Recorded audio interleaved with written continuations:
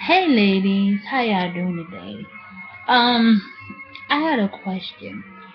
If a woman is pregnant and she is so tired and she cannot exercise all the way and basically she needs to get some sleep or she needed she needs to exercise what is the tips you can basically give a pregnant woman that doing everything they possibly can and trying to sleep but they still look sleepy in, in this manner.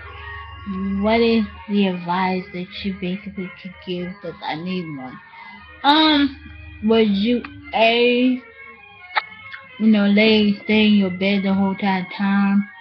B force yourself to go exercise even though you don't want to, or C, um, not do anything and just stay home, and again stay in bed.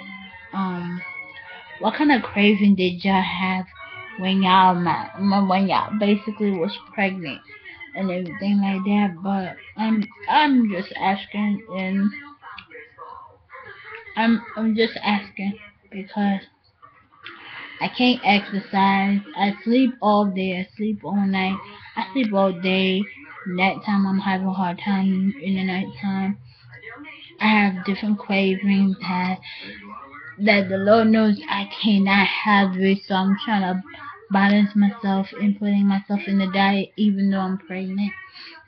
But what can I do to to get my to get my baby, you know, in in a balance and how can I get my daughter to grow each and everything. But any tools that you can you thought of you can think of that to help me to um to my daughter to grow that would be helpful. Please comment it behind like subscribe I mean not subscribe but comment it down low and tell me what you did when you was pregnant and everything like that. Thank you. Bye. Have a great day. Bye.